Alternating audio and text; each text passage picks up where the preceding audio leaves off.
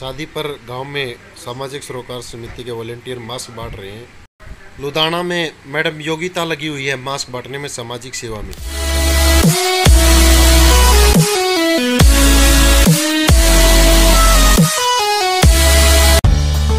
हरियाणा देख रहे सभी दर्शकों को मेरा नमस्कार, मैं दिनेश जुलानिया आज आपको मिलवा रहा हूँ वो कोरोना योद्धा जो मास्क मैन बनकर उभरे हैं सामाजिक सरोकार सेवा समिति के सदस्य जो लगातार लोगों की सेवा में शीशर गाँव से रामचंद्र जी मास्क बांटने में लगे हुए हैं और लगातार मास्क बांट रहे हैं। अपने गाँव में जा जाकर रामचंद्र द्वारा बहुत सारे मास्क बांटे गए हैं, जो कि सामाजिक सरोकार सेवा समिति द्वारा प्रदान किए गए थे।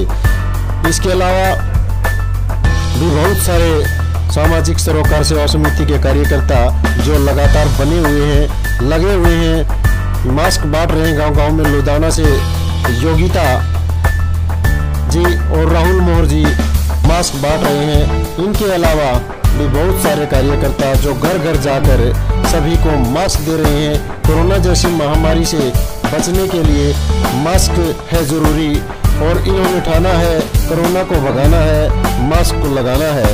ये लगातार कोरोना योद्धा इस काम में लगे हुए हैं। गाँव में घर घर जाकर गलियों पे नुक्कड़ों पे चौपालों में हर जगह जाकर मास्क बांटे जा रहे हैं। मैडम योगिता के द्वारा लगातार प्रयास किए जा रहे हैं। लुधियाना गाँव में घर घर मास्क पहुँचा रहा जा, जा रहा है। ये देखिए एन नाइन्टी फाइव मास्क इनके द्वारा बांटे जा रहे हैं।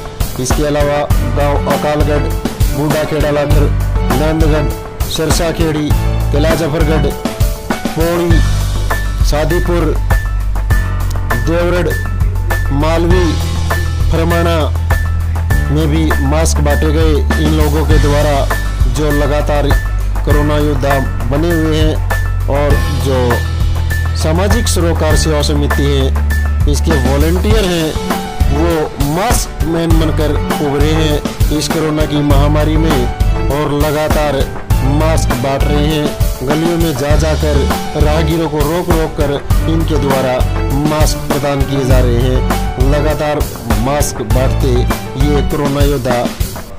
इन्होंने ठाना है, कोरोना को भगाना है और लगातार इन लोगों के द्वारा, खिलाड़ियों को भी मास्क प्रदान किए जा रहे हैं और पूरी पूरी टीम को इनके द्वारा मास्क प्रदान किए गए। मास्क लगाना है ज़रूरी।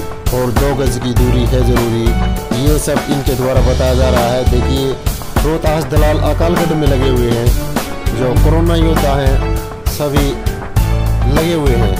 बने हुए हैं सामाजिक सरोकार सेवा समिति के। खरेटी गाँव में भी मास्क बांटे जा रहे हैं लगातार। पौड़ी गाँव से क्रमवीर पत्रकार जुटे हुए हैं। मनेरगा मजदूरों को चाहे राशन की दुकान हो, राशन डिपो हो, वहाँ भी मास्क बांटे जा रहे हैं। इनके द्वारा डिराना में भी मास्क बांटे जा रहे हैं। सभी वॉल्टियर अपने अपने गाँव में लगे हुए हैं। लगातार मास्क बांटने में जहाँ जहाँ बैठे गए, वहाँ पर कुकुर की चौपाल पर हर जगह मास्क बांटे जा रहे हैं। नंदगढ़ में दिनेश दलाल लगातार पिछले चार दिनों से मास्क बांट रहे हैं। इसके अलावा आप सादीपुर गाँव में जाएँगे। सादीपुर गाँव से भी अनेकों कार्यकर्ता मास्क बांट रहे हैं। विकास नेहरा, दीपक वर्मा और अन्य भाई भी मास्क बांट रहे हैं जो लगातार पिछले दिनों से।